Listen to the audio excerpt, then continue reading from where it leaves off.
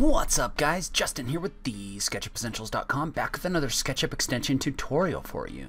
So today I'm going to teach you how to use terrain and imagery in your models to create a sliced physical model look. And before I get started, I do want to take a second and thank my supporters on Patreon. Patreon, as most of you know, is the website where you can support creators that you like on YouTube. So uh, if you're interested in that, if you like what I'm doing on this channel, please consider supporting me at the link down below. Now let's go ahead and just jump into it. Alright, so you're going to need to have a couple extensions installed on your computer. Um, you can get both of these for free. Um, I will link to them in the notes below. I think that they're both in the Sketchucation warehouse. Uh, you should be able to get joint push pull from the SketchUp extension warehouse, and I can't remember if you can get Slicer from there or not. Either case, I'll link to uh, where I got these in the notes down below. And so the first thing we're going to do is we're going to use the add location function of SketchUp to bring in some geographical data. So in this case, I've already selected an area that basically it's a mountain. And I wanted to get something that had some really good kind of terrain in it. So um, I've just selected that area. You can select whatever region that you want. So just find the location that you want, and then you're just going to click Select Region. And what that's going to do is that's going to allow you to move your selection around. So move this until you get what you want, and then go ahead and click Grab. And what Grab's going to do is that's going to bring that into your model. So you can see how now I have this image, this map of the location that I selected. And so this is flat and that's not what we want. And if you remember, SketchUp also brings in a version of this projected onto terrain data. So you're going to click on this toggle terrain button and you can see how that takes this um, that takes this terrain and it adds it to 3D, um, basically applies the topographical data to it um, so that you can see the actual hills in the model. And so now what we're going to do is we're going to use the extension slicer to slice this up, but we have to do something first in order for it to work. And the thing that we have to do first is we have to make this into a solid. And so basically what that means is a solid a solid is an item in your model that's uh, completely enclosed, so it's something that you could like 3D print. Um, so like for example, if I take this object and I make it a group, you can tell that it's a solid because when you click on it, it's going to say solid group. Um, and so, like for example, if there was a hole in this face and I selected it, it's no longer a solid. You can see it doesn't show up as a solid because there's a hole in it. So if I fill that back in,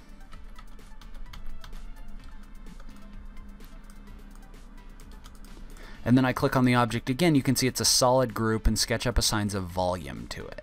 So we have to do that with this map. We have to give it thickness so that it's a solid so that Slicer will accept it.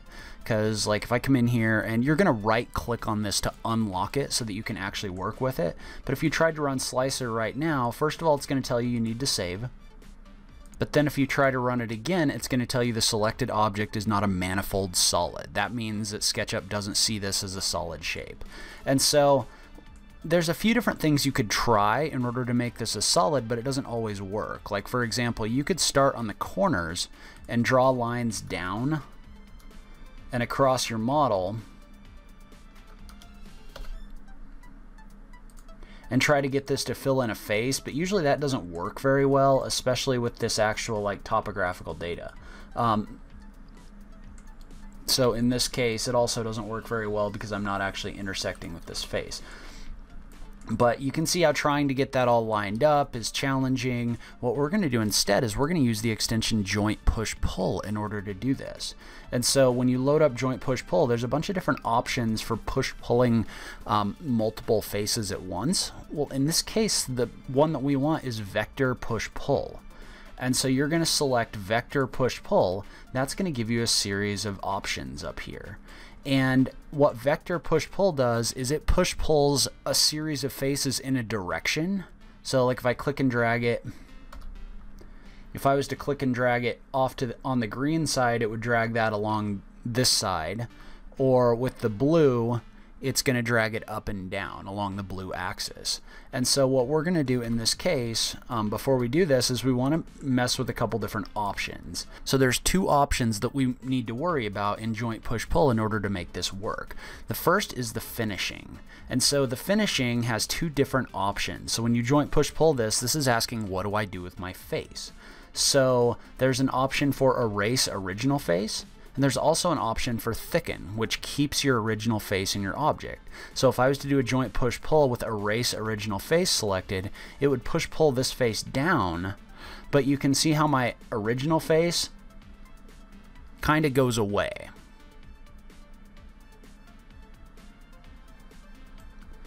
You can see how now this push pulled this down and you've got all these edges, but your original face doesn't stay in there. So that's why you want to make sure that you include the thicken option. Now if I joint push pull this down, and I go ahead and run this, my original face is going to stay here, and so I've actually got terrain in here. And the only problem I have with this is if you look at the bottom, um, the bottom of this is also following the shape of this terrain. And so what we want instead is we want this to be flat on the bottom. Um, we want this to almost be like, imagine if you were to print something off and set it on the table, we want it to be flat so it could sit on that table.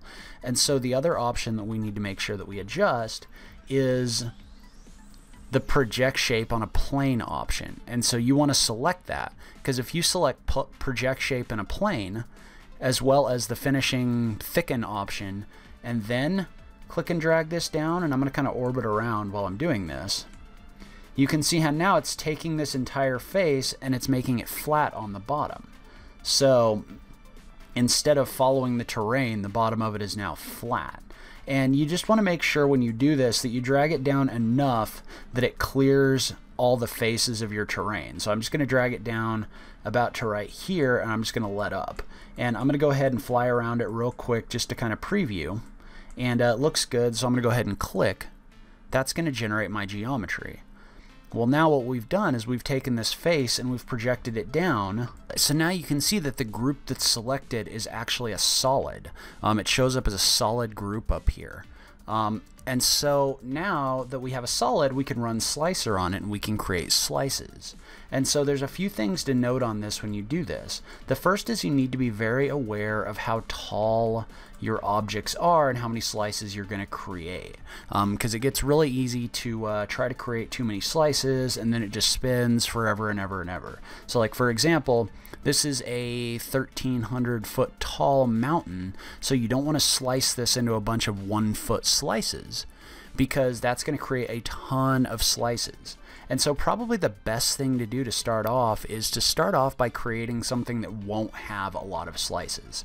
And so what we're going to do is we're going to use slicer and you're going to go to this object for the slicing tool and it's going to give you a series of options. And in this case, you can select the different axes that you want. So you could have it slice this along the red axis, the green axis, the blue axis. In this case, we want this to be the Z axis, which is the blue axis. And there's a couple other options that we want to look at. So the first one is your spacing. So that's going to be your spacing between your different slices.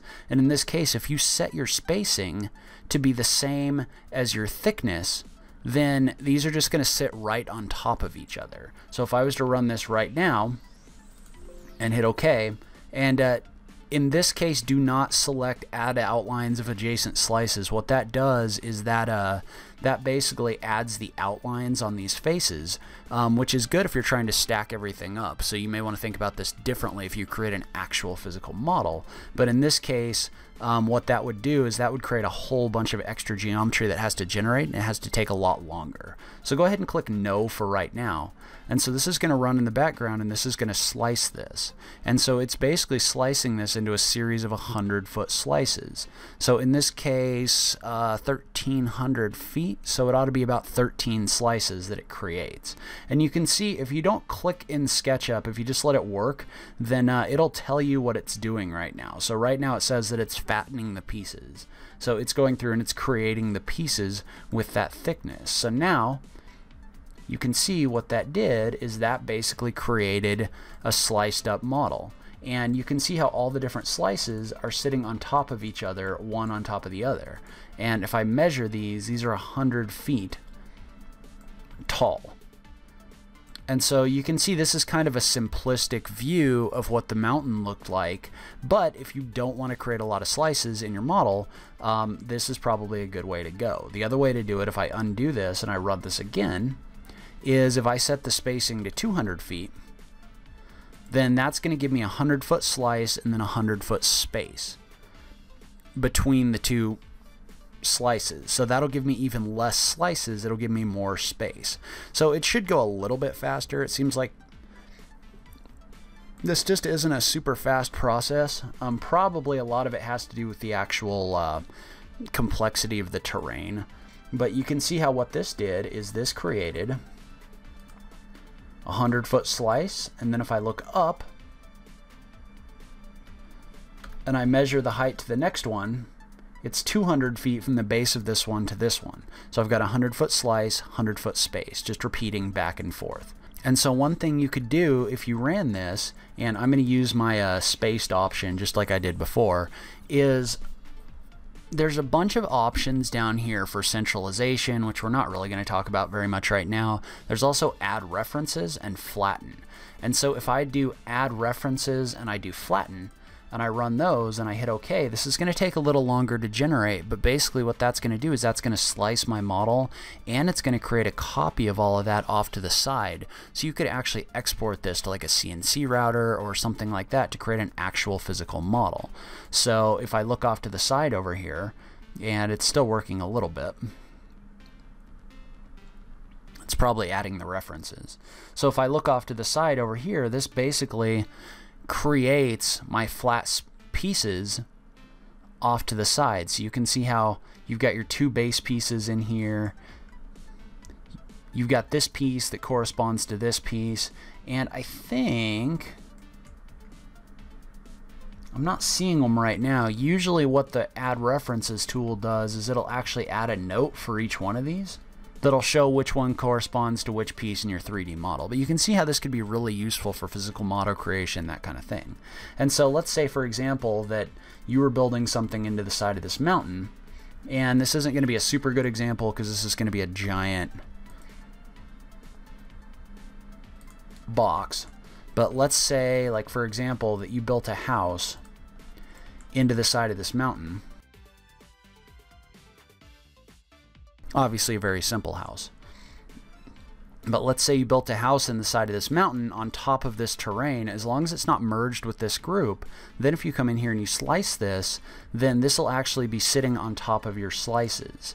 So let's say I set this back to 100 feet for right now, and uh, we'll say no on references, no on flatten. And the reason you probably couldn't see the references is because the text height was only a half inch. This is a very large model, so you're going to want to run that up if you really want to see the references. But if I go ahead and click OK in here, I'm going to say no to the outlines of adjacent spaces. I'm just going to let it work for a minute.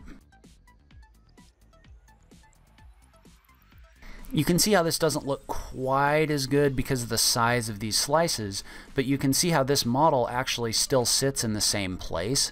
So if you had a more complex model, or probably what you'd end up doing is you'd probably end up bringing in terrain for a smaller area, but you can use this, um, and this could be especially powerful if you had like a 3D printed model, but you could use this to generate a CNC physical model of this, and then you could also 3D print the building and show that in the same location.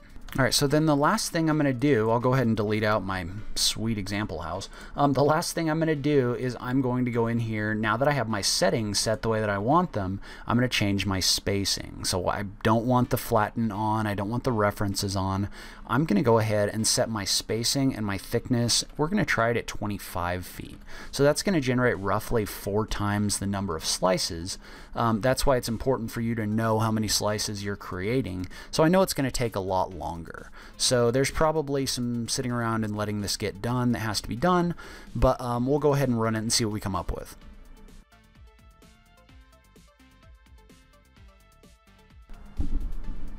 All right, there we go. So you can see that took a while longer to generate, but there's a reason for that. And the reason is you can see that generated a whole lot of extra slices and extra geometry. And my computer's still spinning just a little bit um, thinking about it, I guess. Um, it says that it's done, but I still can't quite orbit around. Just realize that when you create things with this extension, what you're doing is you're generating a lot of new geometry and it takes a while. So sometimes you may just have to let it run and then kind of walk away and then come back.